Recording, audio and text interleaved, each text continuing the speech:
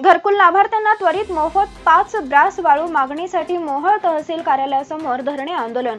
मोहोळ शहरातील घरकुल लाभार्थ्यांना मोफत वाळू द्या. सीमाताई पाटील शिवसेना नगरसेविका. मोहोळ तालुका प्रतिनिधी राजेश शिंदे. मोहोळ नगर परिषद हद्दीतील सुमारे एक हजार एकशे सहा प्रधानमंत्री आवास योजनेअंतर्गत लाभार्थ्यांना पाच ब्रास मोफत वाळू मिळावी यासाठी मोहोळ शहराच्या माजी सरपंच तथा माननीय नगरसेविका सीमा पाटील यांनी उपजिल्हाधिकारी महसूल विभाग माननीय श्री विठ्ठल उदमणे यांना भेटून निवेदन दिले. घरकुल लाभार्थ्यांना मोफत वाळू मिळावी यासाठी गेली सुमारे एक ते दीड वर्षापासून मोहोळ तहसीलदार माननीय सोलापूर जिल्हाधिकारी सोलापूर अप्पर जिल्हाधिकारी गौण व खनिज सोलापूर जिल्हा पालकमंत्री श्री दत्तात्रय भरणे महसूल मंत्री महाराष्ट्र राज्य माननीय नामदार श्री बाळासाहेब थोरात यांना प्रत्यक्ष भेटून निवेदन देऊन वेळोवेळी चर्चा केली आहे.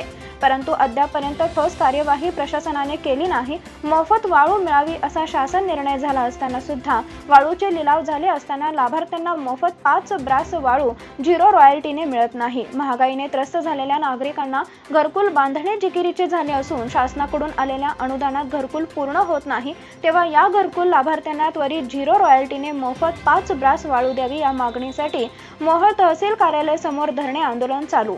रमाई घरकुल योजनेच्या लाभार्थ्यांना पाच ब्रास वाळू मिळालीच पाहिजे. यावेळी शिवसेनेचे असंख्य पदाधिकारी आणि रमाई आवास योजनेचे लाभार्थी बहुसंख्येने उपस्थित होते.